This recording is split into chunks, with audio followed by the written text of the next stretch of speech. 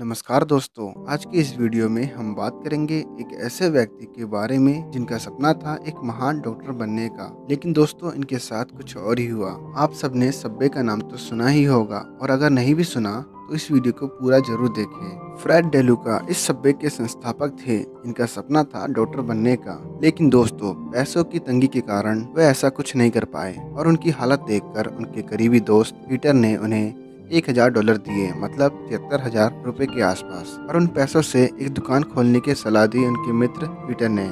सबसे पहले उन्होंने सैंडविच बेचना शुरू किया और बाद में उन्होंने एक रेस्टोरेंट से कई हज़ार रेस्टोरेंट खोल दिए।